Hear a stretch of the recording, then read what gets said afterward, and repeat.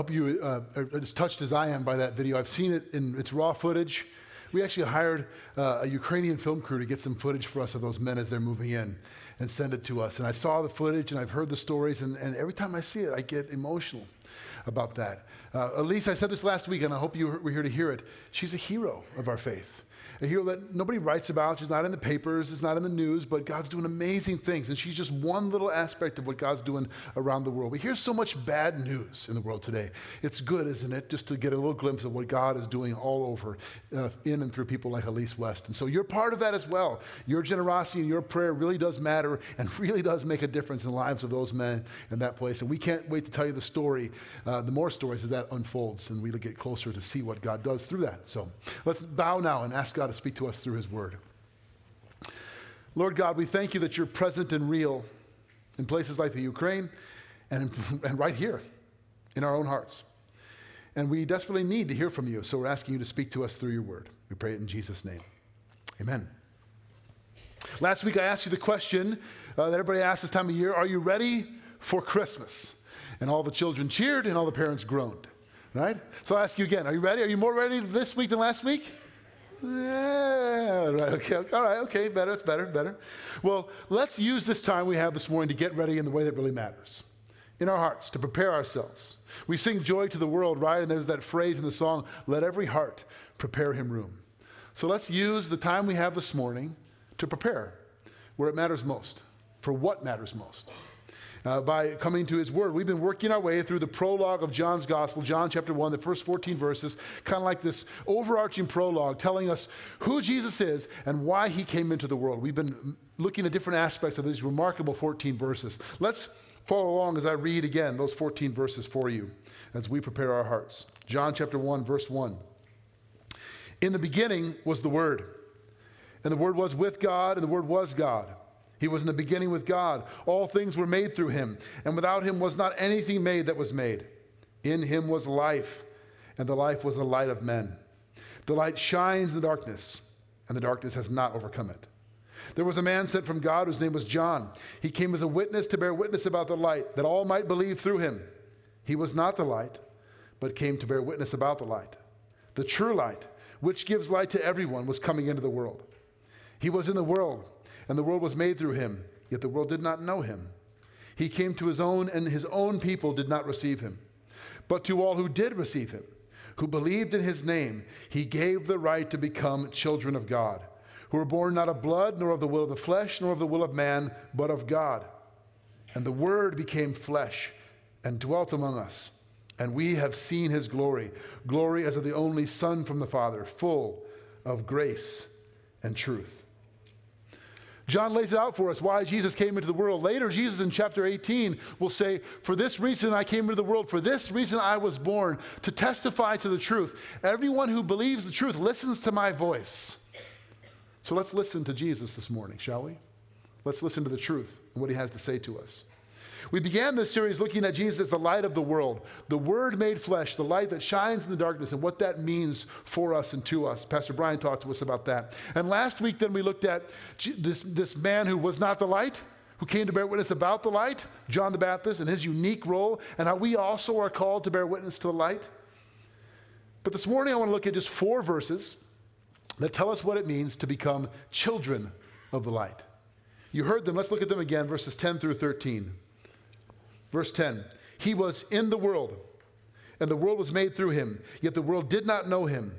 He came to his own, and his own people did not receive him, but to all who did receive him, who believed in his name, he gave the right to become children of God, who were born not of blood, nor of the will of the flesh, nor of the will of man, but of God. Right here, John gives us the reason why Jesus came into the world so that we might have new life new birth, be born again. How many of you have ever heard the phrase born again? If your hand's not up, you're not listening to me, right? We've all heard the phrase, right? Born again. What does it mean to be born again? We sing it. Hark the herald angels sing. Glory to the newborn king. He come to raise the sons of earth, comes to give them second birth. We sing about it, but what does it mean? And can we be honest for a minute? There's a lot of baggage with the term born again, isn't there? People have, there's a lot of misunderstanding about this phrase. It's not necessarily in our culture a phrase that's used uh, as a compliment. Someone say they're, they're that born again person. In fact, my wife and I, we were driving to um, Iowa to watch our daughter play basketball. And while we're on the road, she was knitting and listening to uh, one of her books on tape. And, and I, we both saw at the same time this bumper sticker that looked just like this. It said, Born okay the first time. And I saw it and I had to do like a, it took me a minute. Wait, oh, I know what they're saying. I'm fine. I don't need uh, to be born again. My birth the first time was just fine, thank you. And she tapped me and said, Did you see that? I said, Yeah, I did see that. And when you're preparing a sermon, you're always thinking about it, even if you're not working on it. And so I just thought about this passage immediately.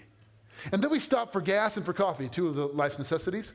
And we, there was a coffee shop attached to the gas station. And when we were walking out of the coffee shop, my wife, she's so observant and so smart, she said, Look at that. She points to a bulletin board on the way out. And on the bulletin board were all of these notices and ads, if you will, about these groups to help you with your problems in life. One of them said, join the moon circle, which meets the first Thursday of every new moon or whatever, I don't know. And it was like, it literally said to help you escape from the problems of life. So, so you have this bumper sticker that says, born okay the first time, and then you've got this wall full of postings saying, we're not okay, we need a little help. That's kind of the human condition, isn't it? I'm fine, thank you very much, but actually I'm not. I need help.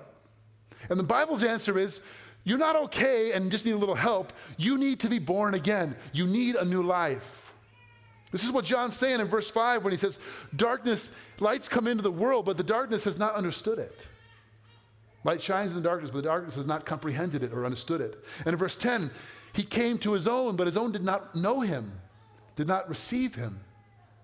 His own people, verse 11, did not receive him. And then verse 12, but to all who did receive him, he gave the right to become children of God. What I want to say is that the new birth is a necessity for all people. I think some people uh, use the phrase born again as if it's a type of Christian. I've heard people say that phrase, like those born again types. And what they often mean by that is overly emotional. They're very zealous, overly morally self righteous, those born again types. And it's, it's kind of a pejorative term in our culture, isn't it? What the, the text of John is saying is that this is not a type of Christian. This is definitionally what it means to be a Christ follower. You must be born again. It's not an emotional type or a morally self righteous type, it's what it means to follow Jesus. And nowhere in Scripture is this idea fleshed out more specifically than an encounter Jesus has with a man named Nicodemus. And it happens in John chapter 3, just a couple chapters later. Nicodemus is a, a Pharisee, a ruler of the people, and he comes to Jesus at night. So I like to call this story Nick at Night. I know, I think it's funny too. All right, let me read this in verses 1 through 5 of John chapter 3. Now there was a man of the Pharisees named Nicodemus, a ruler of the Jews. This man came to Jesus by night and said to him, Rabbi, we know that you are a teacher come from God, for no one can do these signs that you do unless God is with him. Jesus answered him, Truly, truly, I say to you, no, unless one is born again, he cannot see the kingdom of God. Nicodemus said, How can a man be born when he's old? Can he enter a second time into his mother's womb and be born? Jesus answered, Truly, truly, I say to you, unless one is born of water and the Spirit, he cannot enter the kingdom of God. Now, Nicodemus is about as morally upstanding and religious a guy as you're going to find. He was a member of the ruling council, the Sanhedrin. He was a religious and social leader in Jerusalem, respected by his peers. He was a Pharisee. That means he was very serious about keeping the law of God, about being morally good and religious. He's respected, moral, religious, upstanding, upper class individual. He's a good guy by every standard of human measurement. And he comes to Jesus and he says, Jesus, we know you're from God. Nobody could do what you do if they weren't from God. And Jesus doesn't say, Well, thank you, Nick. I've heard great things about you too. Which is the polite thing to do. What does he say? He says, I'm telling you, you can't even have this conversation with me unless you're born again. And Nicodemus doesn't get this at all. What are you talking about? I'm, I'm, a, I'm, I'm, I'm a grown man. How am I going to be born again? Unless you're born again, you can't even see the kingdom of God. Actually, if you think about it, what he's saying is offensive. He's saying to this religious man, this morally upstanding guy, he's saying, everything you've, your whole life counts for nothing. You have to start over. You must be born again. Counts for nothing. What do you mean counts for nothing? Look at all that I've done. Look at how hard I've tried. Look at all that I've, I've been very religious. This is what it means when Jesus, when John says, born not of a husband's will, not of human will or the flesh or of blood, but born of God. Meaning, it does not matter how good your family is, how long you've been in church, how, how well you've done in life, nor does it matter how messed up your family is, how much you failed, and how broken you feel. No matter how good you are, you must be born again. No matter how bad you are, you can be born again. You see what he's saying? It's a necessity for all of us. Some of you come in here feeling pretty good about yourself. I got news for you. It Counts for nothing. You must be born again. Some of us come in here feeling pretty broken, pretty hopeless. I've got news for you. You can be born again. The new birth is a necessity for everybody. That's, that's what he's driving at here. Now, the second thing the passage tells us about being born again is that new birth means something happens to you a radical new life and a radical new identity. New, me, new birth means a radical new life and new identity. The new life is not always dramatic, but it's always definite. You're either born or you're not. And what are the signs of, of new life, new birth in you? Growth. Living things grow, right? Moms and dads, what do you do when your kids are little? You celebrate every little sign of growth, right? Every ounce gained, every half an inch on the wall when you measure them, everything they do. I once knew a family that sent a picture of baby's first solid poop to the grandparents on Facebook. That's an issue. We should talk about that. That's a different sermon, right? Like, we're so excited about any sign of growth gaining weight, talking, walking, rolling over, sitting up, doing all this stuff. Why? It's signs of development, it's signs of growth. Spiritually, what are those signs? What are the signs that you're growing? How do you know? Nobody's born fully grown or fully developed. First, a growing love for God and for others, a growing hunger for His Word, a growing sensitivity to the Spirit of God in you, sensing that God is nudging you to say something to someone or to be generous in this way and responding to that, and knowing this didn't come from me. I didn't used to think like this. A growing desire to obey God and to leave sin behind. Doesn't mean you're perfect, doesn't mean you don't screw up. What it means is I have a growing desire that I want to obey God and not the world or my old life. A growing awareness that He loves you and that being a sense of security in your life. These are signs of growth. Uh, Dallas Willard wrote a book called The Divine Conspiracy about spiritual growth, and he says, and I love this line one of the surest signs of spiritual growth is the thoughts that no longer occur to you. Do you hear what he's saying? This used to be my issue and my hangup. I used to have a struggle with this, and I don't think like that anymore. Look at that. I'm changing. Something's happening to me. I'm growing. I'm not the same as I used to be. Do you see that in your life? I talked with a man a few years ago. He's 55 years old. He's new to our church, but he's been around church, church is, all his life. He made an appointment to see me and he said, Pastor, something's happening to me. I said, What? He said, I, I, don't know exactly, but like I've been reading the Bible all my life, and I'm reading things I've read hundreds of times before, and I'm seeing it in a whole new way. And he said, and he was a very conservative guy. I mean, uh, way right. His, his views were kind of to the right of Mussolini. Like he was a very conservative, right leaning guy. And he really had no uh, time for anybody who didn't share his political bent and leanings. He said, even though I totally disagree with them, I don't see them as the problem anymore. I actually care about them. He said, I don't understand. Like, I, am I'm 55 years old, I'm seeing things differently. I like, I, he's like, what's happening? I'm like, surprise, Pinocchio, you're becoming a real boy. Right? Literally, that's what's happening. The intellectual things he believed that he called his faith were no longer just in his head, they were penetrating into his life. New birth, signs of growth. 55 years old, been in the church all his life, and he's now waking up, becoming new, born again. And he's not making it happen, it's happening to him. Let me read to you an excerpt from, um, can you guess? There's a reason Lewis says things better than most people. C.S. Lewis, in his great book, Mere Christianity, uh, there's a chapter at the end of the book, uh, toward the end, called Nice People or New Men. Did Jesus come to make you nice or to make you new? Listen to what Lewis says. And now we begin to see what it is the New Testament is always talking about. It talks about Christians being born again. It talks about them putting on Christ or about, about Christ being formed in us. Put right out of your head the idea that these are only fancy ways of saying that Christians are to read what Christ said and try hard to carry it out, as a man may read what Plato or Marx said and try to carry it out. It means something much, much more than that. It means that a real person, Christ, here and now, in the very room where you are saying your prayers, is doing things to you and in you. It is not a question of a good man who died 2,000 years ago.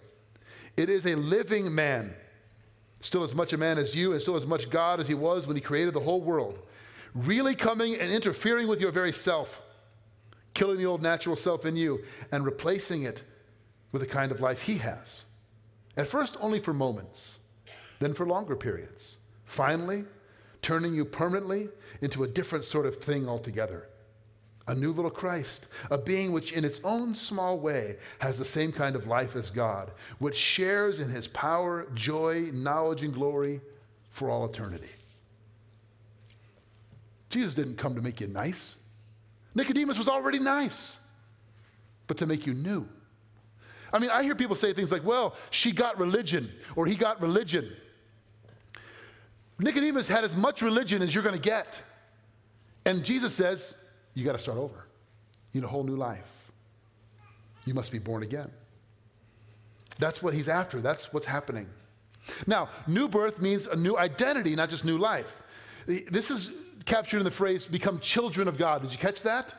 The right to become children. Now, some of you might object. Wait a second. Wait, wait, wait. Time out. Aren't all people God's children? I mean, aren't we all made in his image? Don't, aren't we all children of God? Yes, Paul does say in Acts 17 that we're all his offspring.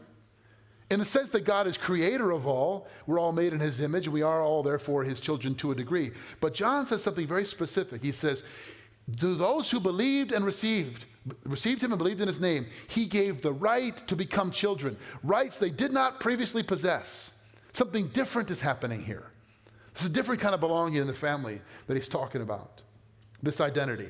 And I want to talk about your identity in, with two words.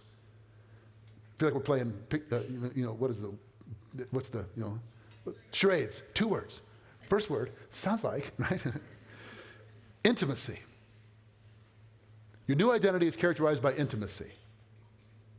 When he says he gave the right to become children of God, that's adoption language. Some of you I know have adopted children. You know what this means new rights, new status, new privileges that you did not have before you came into this family, and now you have. A new relationship, a new access to your father, a new intimacy. I remember I read a, a biography of the life of Abraham Lincoln about his family life a couple of years ago. And it, it, the, it, told a bunch of stories about the interactions of his family in and around the White House. Lincoln was famous for, for being a bit of uh, kind of letting his children run wild in the White House, particularly his youngest son, Tad. Uh, there's stories even during the Civil War when Lincoln's in meetings with his war council in the Oval Office and Tad Lincoln running in with his toy sword, interrupting the meeting, and the president just letting him do it. Can you imagine if, if you tried to run into the White House today? Just run across the lawn and run right up? You, you get shot on the lawn, probably. But what if that's your father in there? And he loves you and you're his precious daughter or son? Well, you have different access. Come on in. It's my boy, it's my girl. Have, what, what, we're being told here is He gave you the right to become children. Now, God is not just your creator, whether you acknowledge it or not, He's your intimate Father. You have access to Him. You can come right in. The book of Hebrews tells us that we have, He has opened a way for us, a new and living way, and we have confidence to enter the holy place, the presence of God. Why? Through the blood of Jesus, who gives us access and intimacy with the Father. We read in Paul says in Romans chapter 8, verses 16 and 17, this profound statement about what we have in terms of our access and our, and our rights as children. He says in verse 16, the Spirit Himself bears witness with our spirit that we are children of God. And if children, then heirs heirs of God and fellow heirs with Christ, provided we suffer with him in order that we may also be glorified with him. If we're children, then we're heirs. What does it mean to be an heir? It means you have an inheritance. You have rights and privileges and status and an inheritance. That's the second word. Intimacy, the second word, inheritance. The New Testament is jammed full of references to our inheritance in Christ. We don't talk about this much, but it's full of references to what we have in Jesus. We've been given these rights and privileges, new relational status. You know, I think I, I make fun of Hallmark movies a lot, and for good reason, they're ridiculous. But, but in fairness, I remember watching one with my wife, and I can't remember, they all have hilarious titles like A King for Christmas or A Kingdom, King, Kingdom for Christmas. And there was this one where there's this guy, and he's kind of an everyman guy uh, living in America. He finds out that he's actually the heir, he's actually uh, the, the rightful heir to the throne of some fake country called Monravia or something, I don't know. Uh, and, he, and he goes there and he finds out that this, is this whole palace, this kingdom belongs to him now. And he, he doesn't really, he's kind of a good old boy. He doesn't really like it. He's not sure he can adjust to it, but it's his. It's his inheritance. You know, every orphan's fantasy, right? Well, my real dad. See, I got mixed up at birth. My real dad, he's wealthy, he's a king, he's a ruler, and someday he's going to figure out what went wrong and come, come get me. And then I'll belong to him. That's not, the Bible's saying that's not fantasy. Those, those stories are pointing to a longing in the human heart to be fully known, fully loved by the God who made you. That's the message. That's what it means to be born again, to say, I have a new identity. It's not a fantasy. The King of Kings is my Father. And all of his rights and power and glory comes to me. I don't deserve it. I didn't accomplish it, but he gives it because that's who he is. And you know what, you know what identity really is? Identity is two things your sense of significance and your sense of security. That's what makes you, that's where your identity is. So just ask yourself the question where do I feel most significant? Where do I feel like I'm, I matter? This is what makes my life matter. And where do I feel most secure? Whatever the answer is, that's your real identity. And the gospel message is there's only one place where that's secure. Listen to what Peter says, and there's lots of places, as I said, but the, Peter puts this beautifully in 1 Peter chapter 1, verses 3 through 4 about our inheritance and what's coming to us and our rights as children. Blessed be the God and Father of our Lord Jesus Christ. According to his great mercy, he has caused us to be born again. Do we have it? 1 Peter 1? I've got it here in my Bible. 1 Peter 1, chapter 3. 1 Peter 1, verse 3. Okay. Blessed be the God and Father of our Lord Jesus Christ, according to his great mercy. He has caused us to be born again to a living hope through the resurrection of Jesus Christ from the dead, to an inheritance that is imperishable, undefiled, and unfading, kept in heaven for you. Think about that. He's caused you to be born again, and he's got an inheritance sealed for you. The message here is that wherever you find your security and anything else or significance, if it's in your career, some of you know this, painfully you know this, it can be taken from you. You can lose it. Is it in your marriage? Some of you know this, painfully, it can be taken, it can end. In your family, it can crumble. In your own self and your accomplishment, that can fail. And many of us know the pain of these different failures and losses. The message of the gospel is there's only one place where your true identity will be kept for you. You don't keep it, He keeps it. It's secure. It's in Christ, it's in Him.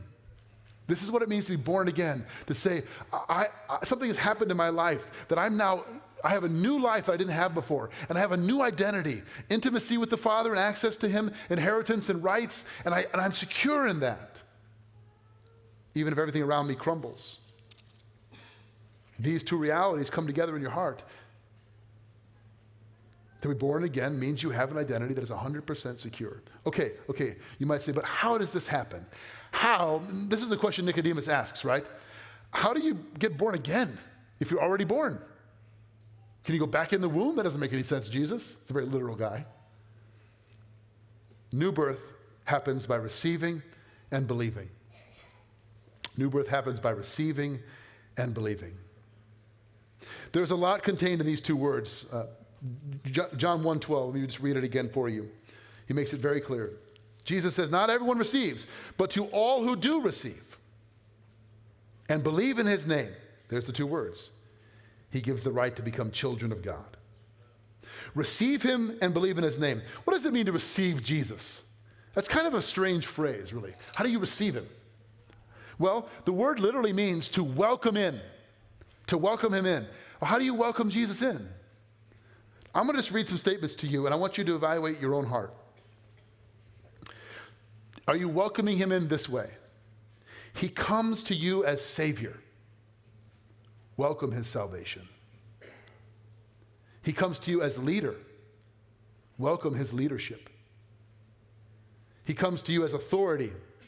So welcome his authority. He comes to you as provider. Welcome his provision. He comes to you as a healer. Welcome his healing. He comes to you as a judge. Welcome his judgment in your life. He comes to you as king.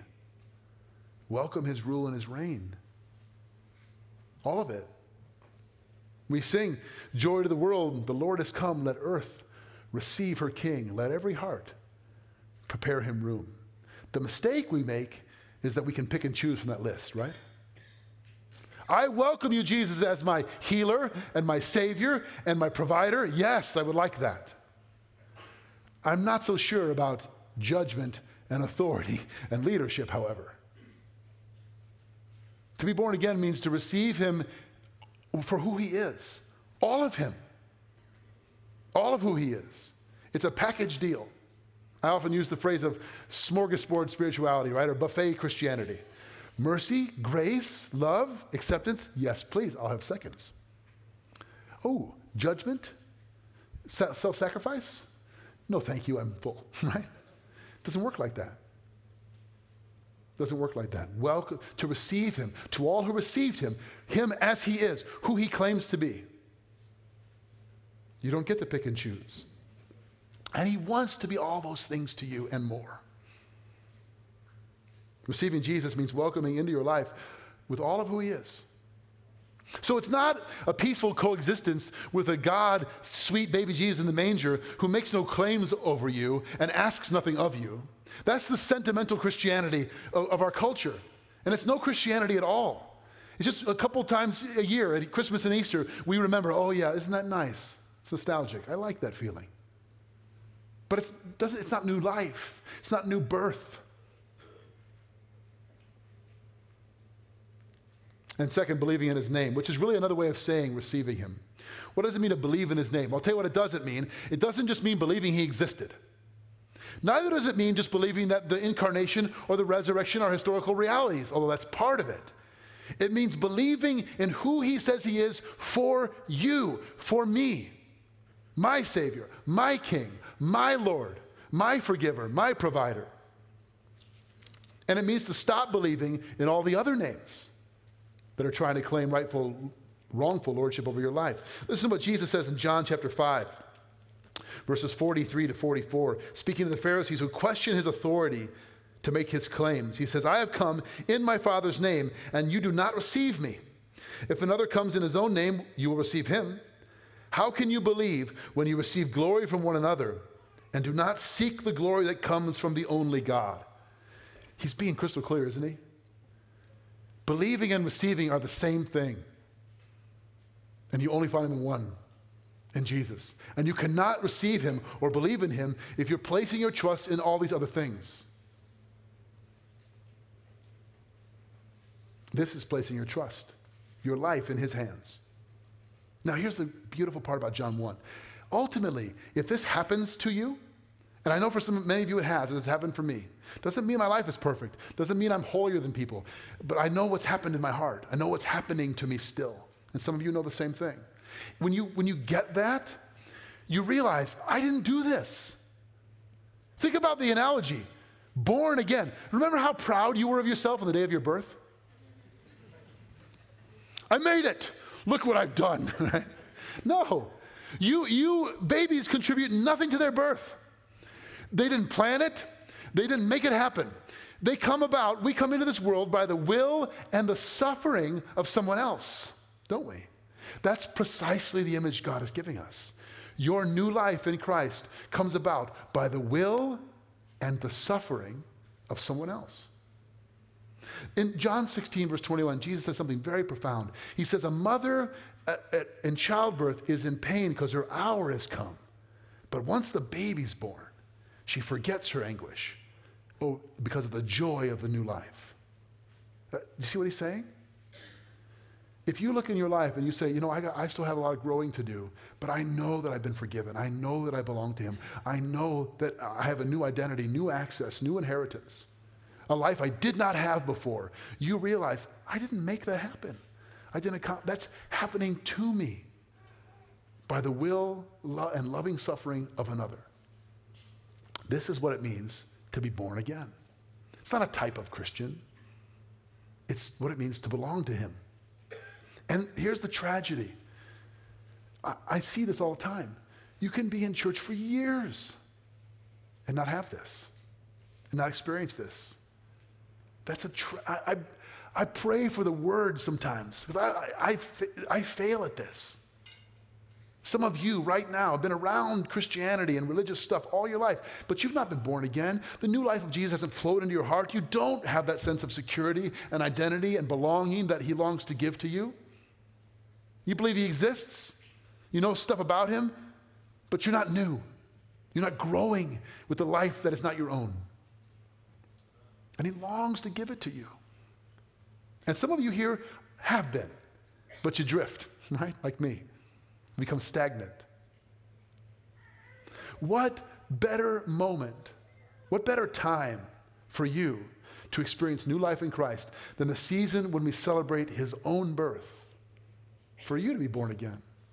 So I'm going to invite you to pray with me. I'm going to pray a prayer, especially for those of you, maybe you're identifying your own condition. You're saying, you know, I think that's me. Would you pray with me? Father God,